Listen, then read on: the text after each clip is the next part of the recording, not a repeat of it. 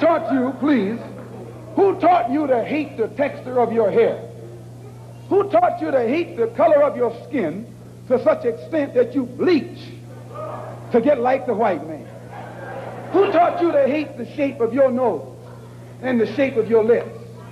Who taught you to hate yourself from the top of your head to the soles of your feet? Who taught you to hate your own kind? Who taught you to hate the race that you belong to? My hair looked like the way it did, why my hair wasn't thin or why it didn't, um, you know, blow in the wind. Why were my puffs so puffy? In middle school, I started wearing it out, and then I felt like it was too poofy and big, so I started chemically altering it. What does your hair signify to you? Beauty, strength. Style your hair. How do I style my hair? Um, I usually put sheer, I wet it first, um, and then I put Shea Moisture in it with like three different products. I put gel, con- leave-in conditioner, and then I have like milky products that I would wash through my hair. But if it's dry, I usually just use a spritz bottle. Is there a specific reason you wear your hair natural? Um, it's easier for me. I don't really have to go through a whole process, but as long as I keep it like moisturized, I feel like it's just easier for me. Have you ever felt negatively about your hair? When I was younger, yeah, because I lived in a predominantly white neighborhood, but now I feel more comfortable. I felt like my hair always had to be straight, but then after a while, like me and my mom talked about it and realizing that natural hair is so much better than straight hair and being able to show my confidence through my natural hair is what made me want to do it again. Skin tone. Skin tone. I mean, to me, the blacker the berry, the sweeter the juice. So, what's up?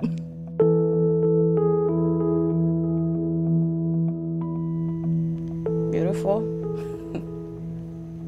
Beauty.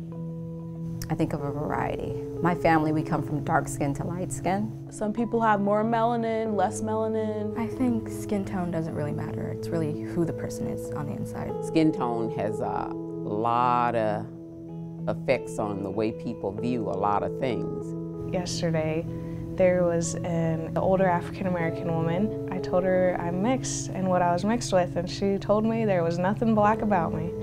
I even have family members who, because they're light skinned or mixed race, they kind of act like a little bit better than you. Kind of like having the light eyes and the light skin tone, the light hair. It's like you're you're treated better. It's like you're like you're pure or something. I've always been really dark, and people would make fun of me just left and right for it. I thought it was such a negative thing, and I always wanted to be lighter. I always wanted to just be somebody I just physically wasn't. And growing up and kind of finding myself, I've realized there's just there's just so many beautiful shades.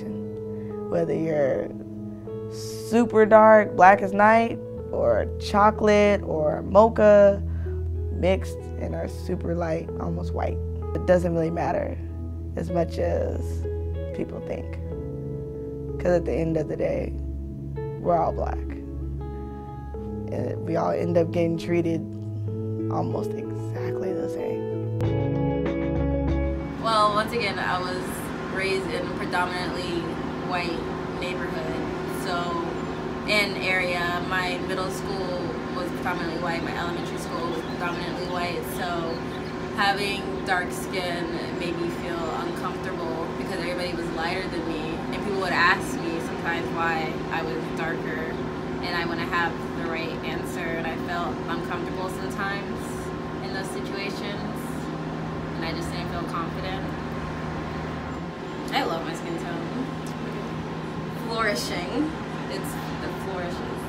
But um it's I, I love my skin tone now. I respect it more. I after learning about a lot of things going into college and getting out of the town that I grew up in, I've learned a lot about it and I appreciate it so much now. I would say appreciate it.